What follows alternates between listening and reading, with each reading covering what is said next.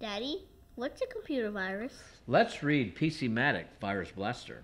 Once upon a time, viruses ruled the world. In a faraway land, a man named Boris Ripyuoff wrote computer viruses that robbed bank accounts and stole people's identities. What a bad man. Without anything to stop him, Boris wrote more viruses that stole money straight from banks right here in the USA. Didn't the banks have PC Matic? Unfortunately, not.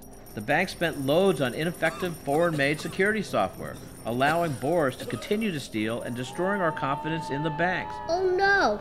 Suddenly, PC Matic Super Shield came to the rescue, only allowing trusted applications to run. Super Shield blasted Boris's evil viruses forever, restoring our confidence in the banks and ultimately saving the world. Only PC Matic is made in the USA and costs $50 for five computers for one year. Go to PCmatic.com. That's PCmatic.com.